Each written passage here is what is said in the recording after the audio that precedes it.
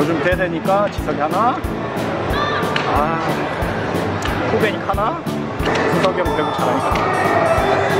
아, 호건이. 아, 호건이 해줘야지. 아, 리베로. 아. 호건이 해줘야지. 뭐야?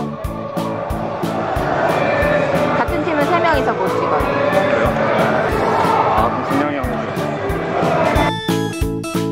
지금 올스타 투표하는 거 알죠? 저 제덕이도 투표 완료. 25일까지 KOVO 홈페이지에서 투표 가능. 투표 인증하고 올스타 V 챌린지도 도전. 올스타 투표하고 올스타 V 챌린지도 함께 하세요. 모두 올스타 투표 많이 해주세요.